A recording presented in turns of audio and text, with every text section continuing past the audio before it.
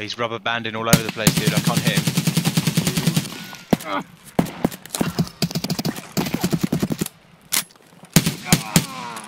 Nice, nice, nice.